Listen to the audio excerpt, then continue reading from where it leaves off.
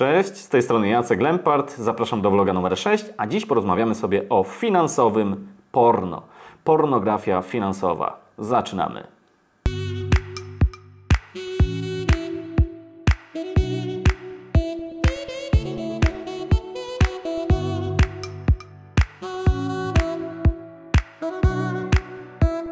Dziś bardzo szybko, ponieważ jestem w biegu, mam mnóstwo pracy. Jak jeszcze będziemy pewnie mieli okazję mówić sobie tutaj często na ten temat, nadal pracuję e, zarobkowo, czy też inaczej w projekcie komercyjnym, mniej więcej przez 4 dni w tygodniu.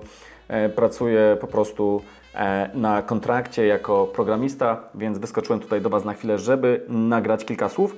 A jest to dość ważny temat, ponieważ zwłaszcza e, koniec roku i początek nowego roku sprzyja wylewowi w internetach tak zwanej pornografii finansowej, chociaż tak naprawdę ta pornografia finansowa można powiedzieć, dominuje treści, jeżeli chodzi o finanse, zresztą pewnie nie tylko finanse, ale tutaj zajmujemy się finansami.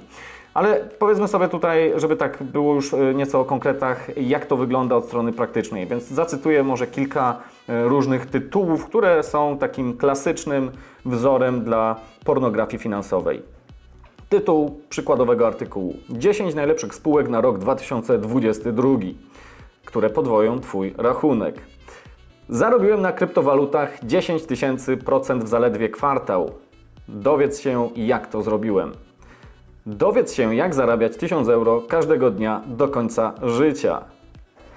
Gdybyś kupił akcję spółki Amazon od samego początku, byłbyś milionerem.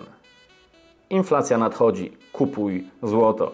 To ostatnie w szczególności e, jest bardzo mocno kontrowersyjne i wzbudza wiele emocji. No więc właśnie, o co chodzi z tą pornografią finansową? Czym jest pornografia finansowa? Ten termin ukuła ponad 20 lat temu już właściwie, chyba pod koniec lat 90. przed e, tym dotkomowym e, krachem na rynku akcji. Jane Bryant Quinn, taka dziennikarka amerykańska, e, dziennikarka finansowa. No i ona to właśnie powiedziała w odniesieniu do tego, jak niektórzy dziennikarze piszą w swoich artykułach takie bardzo krzykliwe tytuły. I tak naprawdę, jeżeli chodzi o pornografię finansową, to ona może być kłamstwem, chociaż wcale kłamstwem być nie musi. Wystarczy, że pornografia finansowa przytacza jakieś e, przypadki z przeszłości, które są mega ekstremalne, ale które są tak wkomponowane, są tak przedstawione, jakby były czymś e, zwyczajnym, czymś normalnym, czymś powtarzalnym, czymś codziennym.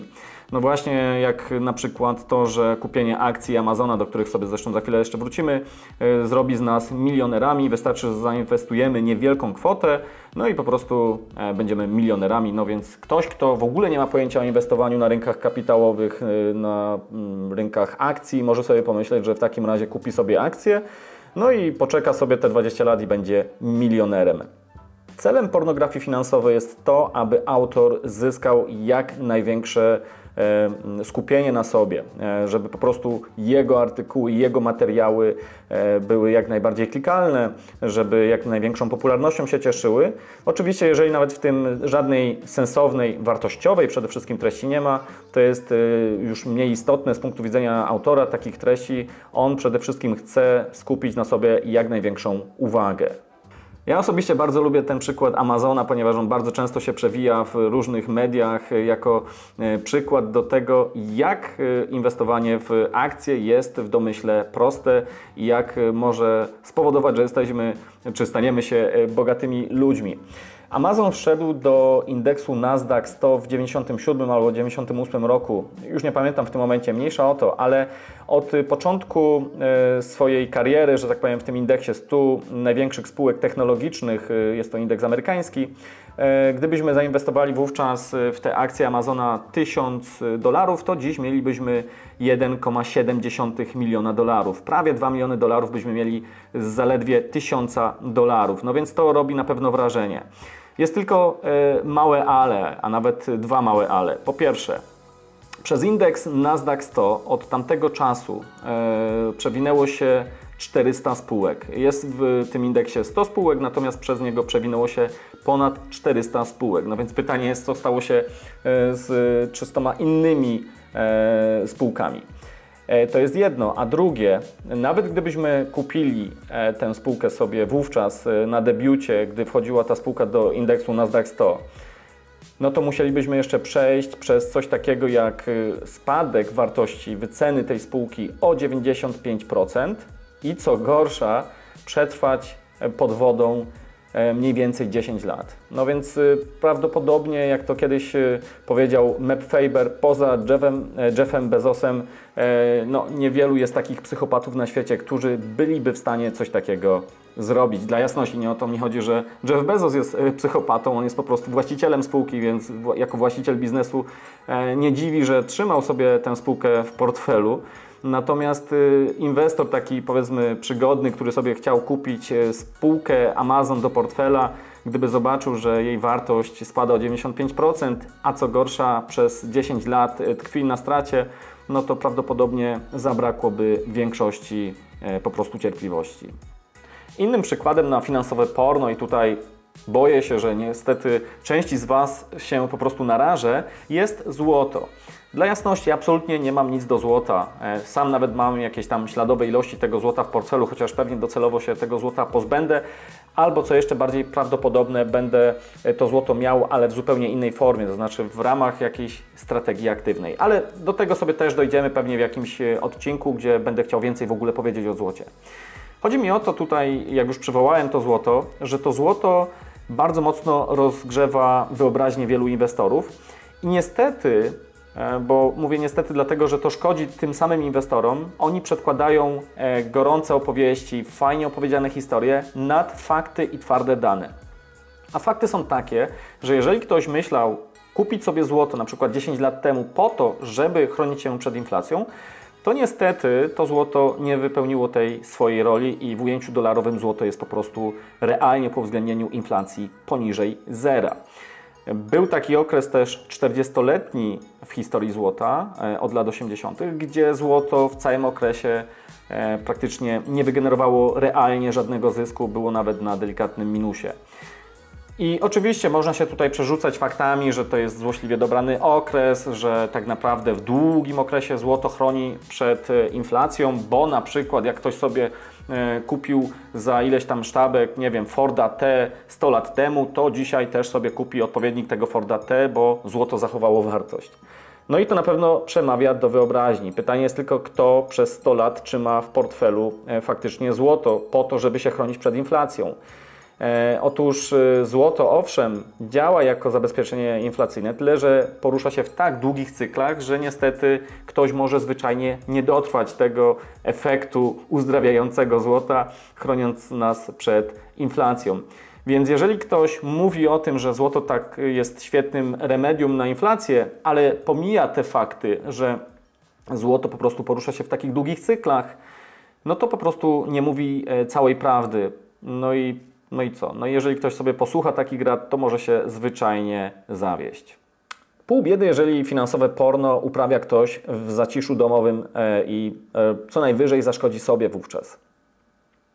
Gorzej, jeżeli finansowe porno jest stosowane przez twórców internetowych, czy wręcz ich działalność internetowa jest budowana właśnie na dostarczaniu treści, które mają charakter e, pornografii finansowej. Dlatego też bardzo mocno Was zachęcam do tego, żebyście z ostrożnością podchodzili do wszystkiego, co czytacie, co słuchacie na temat inwestowania, nie wyłączając mnie. Staram się dla jasności e, robić tutaj jak najlepszą robotę, ale też jestem człowiekiem, nie jestem nieomylny.